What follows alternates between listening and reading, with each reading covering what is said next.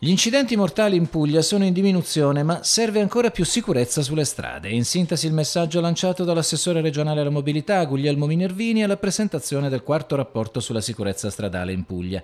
Diciamo subito che la Puglia, con il suo 36,8% di incidenti mortali in meno rispetto al 2001, si colloca prima tra le regioni del Mezzogiorno, davanti a regioni del Nord come la Valle d'Aosta e sostanzialmente alla pari con il Lazio. Un altro dato importante riguarda Bari, che si colloca come seconda città capoluogo italiana con meno incidenti mortali. Tra le province, bene anche quelle di Taranto, di Barletta, Andria e Trani e di Lecce, male invece Brindisi con un più 6,3%. I mesi più funesti nell'ultimo decennio risultano quelli di luglio e agosto, mentre i giorni della settimana più ad alto rischio sono il venerdì e la domenica. Quest'ultimo giorno, soprattutto tra le ore 14 e le 16, ha registrato il più alto numero di decessi. Anche se l'Italia non è riuscita a rispettare l'impegno della riduzione del 50% degli incidenti mortali, la tendenza, anche quella pugliese, è molto confortante. Ma per l'AREM, l'Agenzia regionale per la mobilità, questo non basta e molto dipende dalla cultura degli automobilisti.